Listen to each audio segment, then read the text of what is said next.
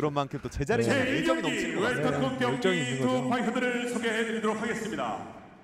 먼저 블루 코너 신장 171cm 체중 77.2kg 20전 14승 10패 임팩트 소속 챔피언 미즈미 소 의 첫 번째 주자로 나섰습니다. 미즈미 소입니다.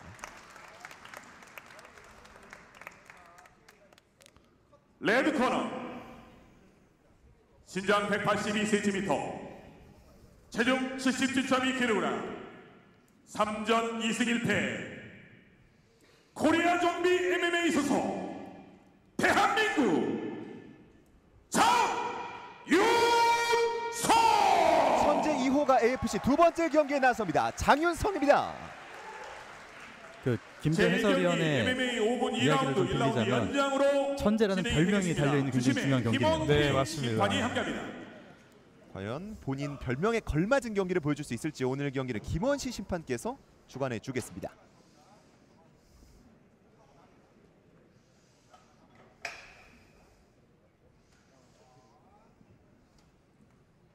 오늘 경기 오프닝 매치를 떠맡은 만큼 두 선수 모두 엄청난 중압감을 가지고 케이지 위에 올라가 있습니다. 긴장감 저만 느껴지는 거 아니죠? 두 선수 노려볼 때. 예. 가득 채웠습니다 지금. 예. 오늘 대회 첫 번째 매치 그 첫 번째 라운드 출발해 보겠습니다. 오우 곧바로 타격 준비하고 있는 두 선수입니다. 네, 예상대로 미즈미 선수가 공격적인 모습을 보여주면서 거리를 깨려고 하고 있죠. 바디킥 그리고 라이트 오, 바로 들어갔습니다. 장윤성 장윤성 선수가 저런 카운터가 좋거든요. 바로 레프트도 들어갔어요. 제 거리를 깨야 되는 건 미즈미 선수의 숙제인데 그 깨는 과정에서 장윤성 선수의 카운터가 터질 가능성이 굉장히 높습니다. 확실히 말씀해 주셨던 리치를 그 장점을 좀 활용하는 경기 운영을 할 필요가 있는 장윤성이죠. 지금 보면은 미즈미 선수가 거리를 좁혔을 때 장윤성 선수가 그 캐치를 해내니까 장, 미즈미 선수도 자신 있게 또 거리를 좁혀내지 못하고 있습니다. 네. 계속해서 카운터 시도도 들어가고 있고요. 바디 시도. 거리 좁혀보다가 다시 벌렸습니다. 테이크다운.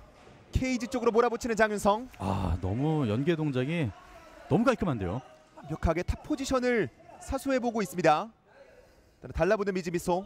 자, 아무래도 미즈미 선수가 또 타격 베이스이기 때문에 스트라이커이기 때문에 그라운드에서 방어가 어, 얼마나 잘할 수 있냐 이것도 관건일 것 같은데 네. 장윤성 선수는 좀 올라운더 스타일이거든요. 예, 그래서 타격도 잘하고 그라운드도 잘하기 때문에 지금도 예, 풀마운트 너무 쉽게 빼앗았죠. 네. 네. 그리고 이제 파운딩 들어갑니다.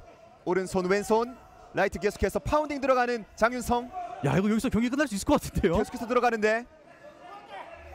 포지션 잠깐 바꿔보는 미즈미소인데 여전히 파운딩을 이어지고 있습니다. 그리고 이대로 경기가 끝납니다. 1라운드 TKO 장윤성이 천재임을 다시 한번 증명합니다. 네. 너무 깔끔합니다. 지금 초반부터 여러분들도 보셔서 느끼시겠지만 거리를 깨려는 타이밍마다 카운터를 계속 맞춰서 상대방의 흐름을 네. 꼬이게 하고 그 경기 운영을 꼬이게 한 다음에 머릿속이 복잡해진 타이밍에 테이크다운. 첫그 이후에 그라운드로 너무나도 쉽게 제압을 해버렸죠.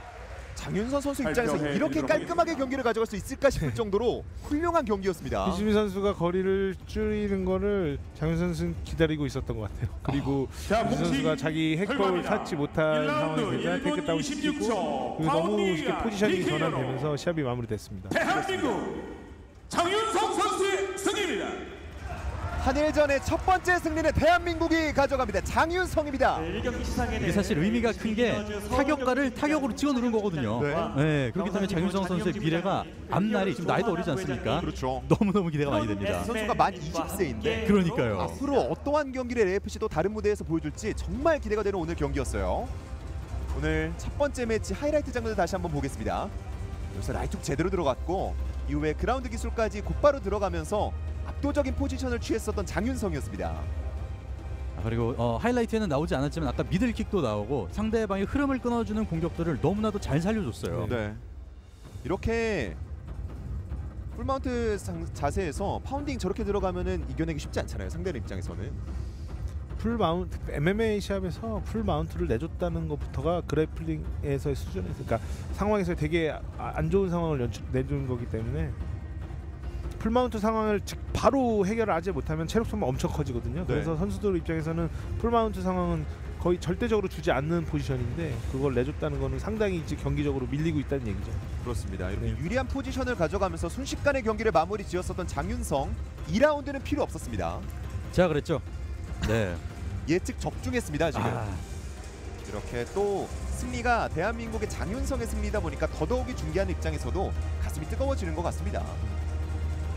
이 선수 아직 만 20세. 이제 네 번째 경기였습니다.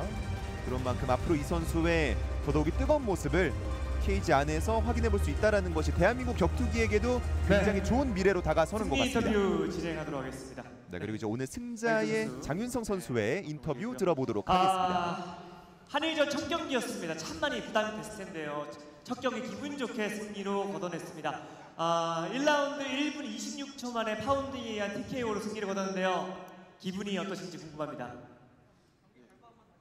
어, 제가 첫 경기인데 이겨서 너무 좋고요. 제가 이기니까 이 기세에 이어서 다 이겼으면 좋겠습니다. 네, 사실 한일전 첫 경기가 참 부담되는 무대인데 부담은 좀 안 되셨는지 궁금합니다. 사실 부담 하나도 안 하고 있습니다. 알겠습니다. 그만큼 자신 있었다라는 거고요. 어, 사실 우리 장윤성 선수 하면은 좀 거리를 재면서 카운터 치는 걸 좀 즐겨 하시는 걸로 제가 알고 있는데 오늘은 먼저 좀 그라운드를 시도를 했습니다. 어떤 전략을 구사했는지 좀 궁금합니다. 어, 전략이라기보단 어, 주먹 섞어보니까 다리를 신경을 아예 안 쓰더라고요. 그래서 그냥 태클 쳤습니다. 입니다.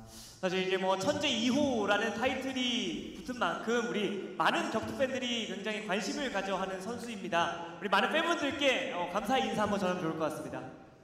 어, 응원해줘서 고맙고 시합 전에 계속 연락 주셔서 힘이 됐습니다. 감사합니다. 알겠습니다.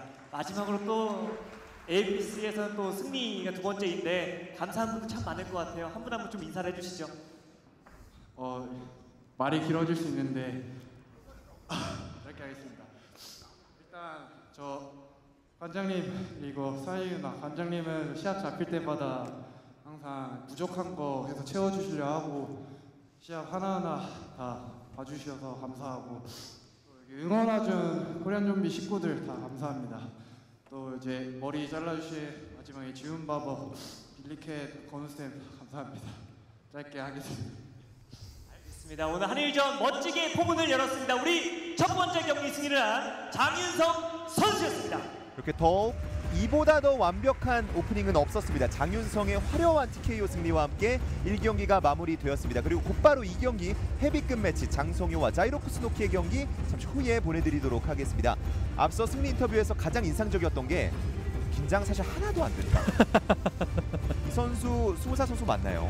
그러니까요. 아니 베테랑을 상대로 경기를 펼치는 건데 3전의 파이터가 오늘 커리어 사상 네 번째 경기를 치르는데 전혀 긴장을 안 할 수 있다는 거는 진짜 말 그대로 타고났다라고 해야죠. 네.